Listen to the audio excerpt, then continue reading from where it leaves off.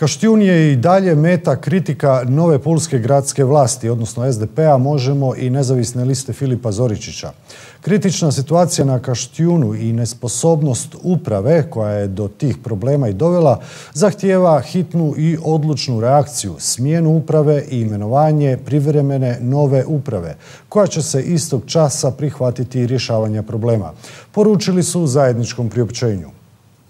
U priopćenju dalje stoji da zakon gradonačelniku Pule kao većinskom članu Skupštine Kaštijuna daje mogućnost za takvu smjenu, a za taj postupak ima podršku koalicijskih partnera. Nova krizna uprava, navodi se dalje, djelovat će do raspisivanja javnog natječaja za upravu Kaštijuna.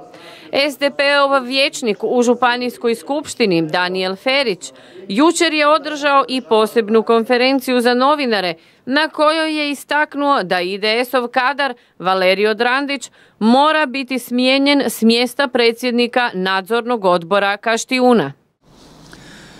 Smatramo da Valerija Drandića treba smijeniti s pozicije predsjednika nadzornog odbora jer i sam sudjelovao u zataškavanju eksplozije Boksa 2 na Kaštijunu koja je proizvela više milijunsku štetu društvu.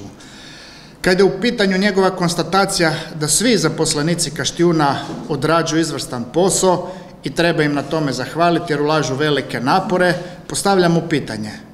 Postavljamo pitanje da li je upućen da su samo troškovi reprezentacije i službenih putovanja u posljednjih pet godina iznosili nevjerojatnih 670 tisuća kuna, od kojih je apsolutni rekorder 2019. godina, kada je na troškove reprezentacije potrošeno 140 tisuća, a na službena putovanja 111 tisuća kuna javnog novca.